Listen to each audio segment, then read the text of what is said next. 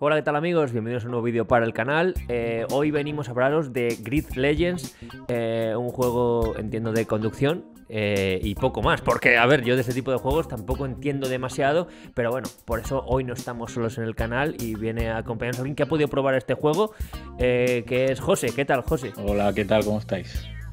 A ver, primero, primero, ¿cuándo sale este juego? Eh, eso es eh, lo importante. Fecha de lanzamiento. Eh, la tiene complicada, ¿eh? El 25 de febrero de, este año. mal día, mal día. Pero a ver. sobre todo para los fans del Den Ring. Eso es. A quien le guste el Den Ring va a comprar el Den Ring y quien quiera conducción tiene Creo que no se solapan los. Bueno, o sí, pero en principio no se solapan los, los fans. bueno, están tranquilos.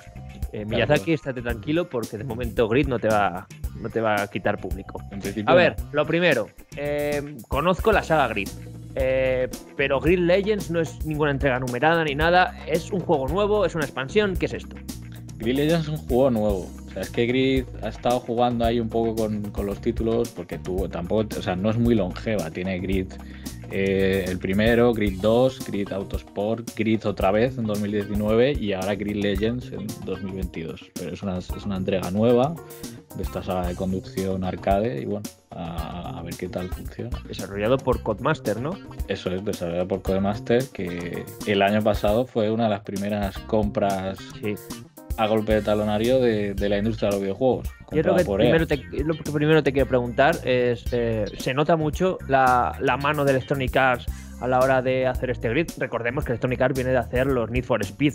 Eh, no sé hasta qué punto son parecidos o, no tienen nada que ver uno con otro. Pues justo han metido un modo historia que nunca ha estado en la saga y eso es un poco más propio de, los Need for Speed. A ello creo que sí se ha notado que, que EA ha dicho, oye mira, pues a lo mejor tira por esta vía de poner un modo historia aparte de todo lo demás, porque trae todo lo que puede tener una entrega de grid, pero pues un modo historia con actores reales, eh, con una producción bastante grande y como, clásicos Need for Speed que, que de repente te intercalaban, pues eso, eh, unas pequeñas escenas con actores reales, pero esto ya un poquito grabado con, producción más moderna, claro, porque antes era, era un croma y, los actores ahí por encima de un fondo de una ciudad regulera, ¿no?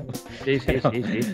Eh, me acuerdo el, el, Need for Speed, el reboot del Need for Speed que, hicieron eso, hicieron eh, un modo historia con personajes reales que, se esforzaban a, tope, eran, eh, sobreactuaban a todas horas, era, era infumable ese modo historia. ¿Este modo historia qué tal es? No, sé cuánto has podido jugar, porque estos solo son impresiones, todavía no, no, no, no has podido probar el juego al, completo, pero de lo que has jugado, ¿qué te ha parecido? Pues he, podido disfrutar gracias a, que nos proporcionaron una preview del juego hasta el capítulo 6 de la historia. No sé cuántos capítulos tiene concretamente, pero hasta el capítulo 6. Tiene muy buena pinta porque, claro, la producción, incluso comentan que tiene algunas, algunas técnicas sacadas de The Mandalorian también, ¿no? El tema de pues, grabar con actores reales, con fondos mucho más recreados de forma más realista y demás. Aunque a veces, bueno, se intercala mm, como los gráficos del juego con, la grabación con actores reales y entonces como un poco raro, ¿sabes? Porque de repente te ponen un pequeño trocito de que está viendo una, por ejemplo, yo que sé, una clasificación y sale el motor del juego, pero de repente cambia la escena a, pues eso, al, ingeniero técnico y al, director de la escudería hablando y tal. Entonces, bueno, queda un, poco, queda un poco raro, pero, pero, o sea, al final está muy bien. Está muy mm. bien porque te mete un poco más, es más inmersivo que solo por la captura de movimientos de los personajes. Que si, oye, que si está bien hecho, está bien hecho. Pero en principio esto eh, está grabado con actores reales. Entiendo que si has dicho eso del Mandalorian y todo eso, esto está hecho con un Real Engine 5, ¿no? No, no, o sea, no lo sé, la verdad, ahí me pillas. En principio sí, porque creo en que. Principio, o sea, el juego no está hecho en un Real Engine 5. Creo. No. No. Ah, el juego, o sea, lo que es, lo que es la producción de, de, lo que está grabado con actores reales, me refería, ¿sabes? Ajá, ajá. Pues vale, comentaban que, que, utilizaba si, coge cosas del Mandalorian y todo eso, o sea, es que esa, esa tecnología eh, se, hizo, eh, se hizo mucho en bombo cuando salió un Real Engine 5 de, de, mm. cosas, eh, por ejemplo, de Star Wars implementarlas en los videojuegos y todo eso. Y al ser Electronic Arts una de las propietarias de la franquicia Star Wars, ate cabos y dije, pues a lo mejor esto sí que está con un Unreal Engine 5. Pero vamos, que si el juego no en Unreal Engine 5, eh, seguramente no tengan nada que ver las imágenes en actores reales con, luego lo del juego. Tal cual, tal cual. O sea, los gráficos del juego son muy diferentes a a lo que es una producción como puede ser de Mandalorian, ¿no? O sea, yo creo que todavía, a menos que se exprima toda la potencia en un Real Engine 5, no vamos a equiparar ciertas cosas con la realidad, ¿sabes? Ya, ya, ya. bueno, tampoco nos enreímos mucho en esto. A ver, ya, eh, eh, la historia es normalita, ¿no? De momento normalita. De momento bien, o sea, típica, parece, está grabado como una serie documental, ¿no? En plan de que incluso el doblaje yo creo que está hecho a posta que no es un que no está doblado con, intentando sincronizar eh, los gestos labiales con la voz, sino que, habla el actor y de repente alguien como que va traduciendo poco a poco, ¿no? O sea, pero bueno, yo o sea, todavía no sé nada más, pero bueno, tiene buena pinta. al final somos empezamos con un segundo piloto de una escudería que nos hace la prueba de acceso y demás, y, de ahí pues imagino que luego irás escalando y demostrando tu valía como piloto, imagino. ¿sabes? Bueno, pero aquí lo que interesa no es tanto la historia, es la eh, jugablemente, como eh, sobre todo para los fans de los juegos de, mm. conducción, cómo es este juego jugablemente, qué mecánicas tiene, cuéntanos un poco cómo has sentido, eh, cómo te has sentido al volante de, este juego. Pues muy bien, la verdad. O sea, yo la, la saga Gris la, la conozco de cerca. Eh, pues la entrega de 2019 no le di tanta caña, pero sí que es verdad que a Grid 2 en su día, pues en PlayStation 3, vamos, lo jugué entero y lo, vamos, lo jugué al máximo. Hice todo el modo carrera, todo, un montón de circuitos y demás. En lo jugable no ha evolucionado tanto, sigue siendo una conducción arcade clásica, o sea, pocos botones. Aquí no nos vamos a liar mucho con, con mucha maniobrabilidad pero bueno, tiene sus cositas para poder mm, meterle más asistencia en frenado, mejor tracción o peor, ¿sabes? Para hacerlo un poquito más simulador. Eh, pero no, es un corte arcade de toda la vida. pero bueno, la verdad que. Vale, vale. O sea, es un juego más eh, adaptado a, todo tipo de públicos, ¿no? O sea, más, más eh, cerca del Need for Speed, por ejemplo, que del Gran Turismo, ¿no? Tal cual. Sí, o sea, siempre Gris ha sido arcade. No creo que se haya querido acercar a más a la simulación, porque de hecho Codemaster también tiene Project Cars que, que es más mucho más de simulación. O sea, simulación tipo desde que, que empiezas conduciendo cars hasta súper deportivos, ¿no? Eh, esto es mucho más arcade, pero la verdad que bueno, se siente muy bien a los mandos, es muy cómodo de jugar, responden muy bien los controles en la versión de, de la preview y la sensación de velocidad es que la Saga Grid siempre se consigue muy bien, la verdad da muy buenas sensaciones de velocidad, de los adelantamientos, al coger las curvas. La verdad que eso siempre lo han cuidado mucho. Estoy mientras eh, estamos hablando, estoy leyendo tus impresiones en, la web y hablas de, la función de rebobinado. O sea, esto es clavado, ¿no? A, los eh, Forza y a eso, ¿no? Sí, pero tendría que ver qué salió antes, ¿eh? porque Gris siempre, vamos, desde yo creo desde el principio tiene esa función de rebobinado. Yo al menos mi primera toma de contacto fue con el 2 y tú ya pues te podías hacer lo del rebobinado. Yo creo que, que, Forza lo introdujo después. Porque tú... Podemos decir que, que Grid fue pionero en ese aspecto. Yo creo que sí, me suena que sí, porque además es que es una función que tú puedes quitar en el menú, en plan, mira, no quiero nunca esto si quieres. Porque la función de rebobinado tiene, tiene esa función de que a lo mejor arriesgas mucho más, porque si te estampas o te pasas de frenada, pues le das a rebobinar y ya está. Solo tienes tres por carrera, o sea, no es en plan infinito, pero tú lo puedes quitar y decir, mira, pues voy a jugar a una conducción mucho más cuidadosa, más de clásica en carrera para no tener que jugármela. Sí, esto del modo rebobinado era para yo iniciarme la pregunta de ¿tiene modos de dificultad de esto? O sea, es decir, alguien que sea un comido de los coches puede ponerse ultra difícil con todo manual eh, o, quitarse, yo qué sé, el, mapa de, la pantalla o cualquier tipo de ayuda al volante. O sea, es posible eh, quitar todo, todo tipo de ayudas y que esto sea, esto sea un simulador, entre comillas. Sí, sí, sí. Tiene, tiene la opción de poder modificar. Yo creo que se está implantando bastante los juegos de coches, ¿no? Porque ya pues los Forza ya lo, lo, tienen desde hace tiempo, ¿no? El poder modificar tanto la dificultad de la IA, tú puedes ponerlo en normal, fácil, difícil, eh, muy difícil, incluso está el, el, modo leyenda, o sea, la dificultad leyenda que debe ser imposible adelantar, o sea, Eh, y luego aparte puedes ir modificando si quieres que aparezca la guía de la pista, si quieres que aparezcan las curvas, si quieres que eh, bajar la, asistencia en la frenada o, la, asistencia en el volante cuando juegas en drift.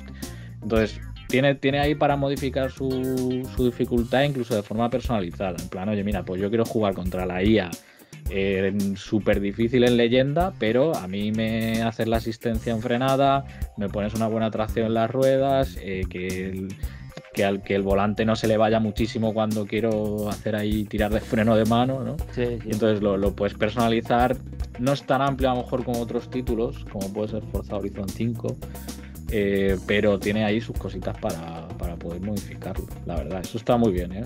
yo, por ejemplo, recomiendo ponerlo de difícil para arriba, porque normal, bueno, un poco paseo el tema. Entonces, bueno, yo recomiendo de difícil para arriba. Más que nada porque luego también tenemos aquí algo que me llama la atención, lo, comentábamos antes de empezar a grabar, es el sistema Nemesis. O sea, tenemos algo parecido a lo de Sombras de Guerra, pero con coches, ¿o cómo es esto? Sí, sí, tal cual. Eso se introdujo en el anterior Grid, eh, en 2019 que de hecho, bueno, pues eh, comentaban que había como 400 patrones de comportamiento de pilotos diferentes en cuanto a... Sí, sí, yo, yo, cuando... cuando sí, sí, yo cuando lo leí para, para, para... Porque yo es que como no lo jugué tanto el anterior, pero para este que me quería informar para ver cómo funcionaba, y es verdad que en carrera, pues eso, cuando te chocas mucho contra, contra un oponente en concreto, pues ese de repente te aparece un cartel que te pone Nemesis y ese piloto es tu Nemesis en esa carrera y si sigues todavía machacando, incluso en la siguiente. Y de hecho puedes tener varios. ¿Y qué significa que sean tus.? O sea, yo de hecho he tenido hasta cuatro, porque yo es que soy. Me arriesgo mucho en la conducción, solamente en, un videojuego. que quede claro, solo en videojuegos. Eso que quede muy claro, por favor, niños y niñas, jóvenes, adultos, todo el mundo. Abuelos. Abuelos. Y, y entonces yo llegué a tener hasta cuatro Nemesis y son eh, tienen ese comportamiento más agresivo. Entonces, si tú vas, por ejemplo, en el rebufo y vas a intentar adelantar, se te van a poner más delante, o si justo les adelantas, a lo mejor intentas darte un golpe en la rueda de atrás para que desestabilizarte, se chocan más contigo. Yo creo que en el juego final evolucionará mucho más porque ahora no lo he visto tan diferente como un contrincante normal en esta preview, pero es verdad que bueno, le da emoción a las carreras en ese sentido de oye, que este está picado conmigo y, que, me va a ir a por mí y como le adelante se va a cabrear más a lo mejor y, puede que, intente boicotearme en cuanto me pille, ¿no? O sea, eso le, da... Es una marca bastante diferenciadora con respecto a estos juegos de carreras.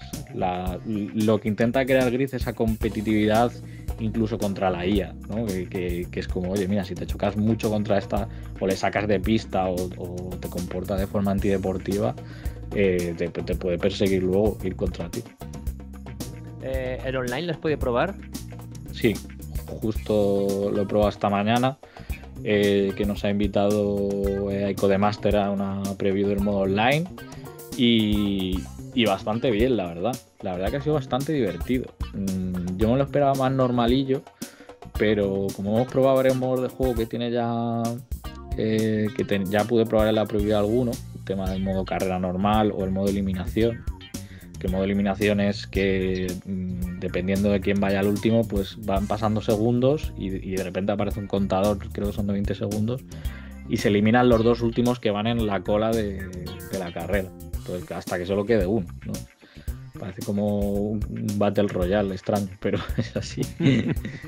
Y nada, muy bien, el online, la verdad que no ha habido ningún tipo de problema, funciona bastante bien. Eh, es verdad que había ciertos problemas muy, muy puntuales de lag, en que he visto un par de coches de repente que estaban a la izquierda y han saltado a la derecha, ¿no? Pero pero yo creo que tenía más que ver con el internet a lo mejor de esa persona que, que, con lo que es el, host de la carrera. La, verdad estaba muy divertido Pues a ver, para acabar siempre suelo hacer esta pregunta de eh, ¿merece la pena jugar Grid Legends? En tu caso es ¿merece la pena por lo que has probado jugar Grid Legends? Sí, yo creo que merece la pena porque todo lo que en una saga vaya sumando me parece bien sin descuidar lo anterior. O sea, me refiero con Green Legends vas a tener un modo historia que al final no quita que vaya a ser por capítulos, todo bastante guiado. O sea, no tiene pinta de que nosotros vayamos a tener algún tipo de elección con que empiece con una escudería diferente o tal. Para eso está el modo carrera. Tú tienes tu modo carrera, que, seguramente sea como los anteriores, que te podrás personalizar tus cosas y demás.